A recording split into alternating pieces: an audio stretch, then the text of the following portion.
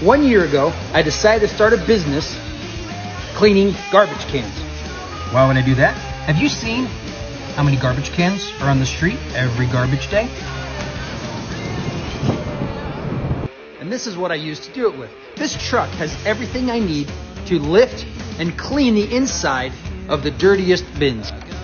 I'm able to carry all my clean water, make my hot water, and I carry all my dirty water right under here. So, if you like seeing uh, dirty stuff get clean and watching how cool stuff works, follow along.